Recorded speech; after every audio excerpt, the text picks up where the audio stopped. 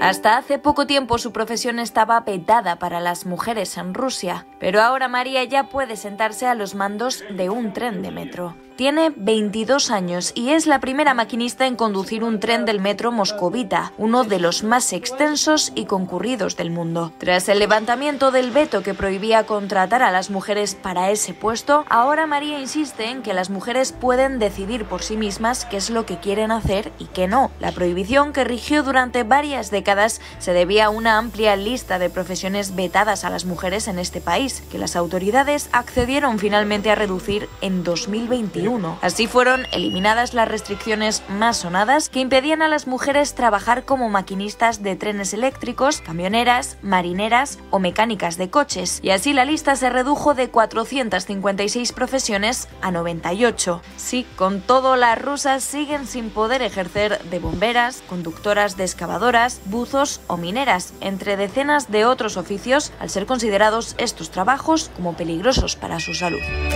Con esta situación, María asegura que las reacciones de los pasajeros siguen siendo variopintas. Unos se sorprenden, mientras otros se paran a mirar y sonríen.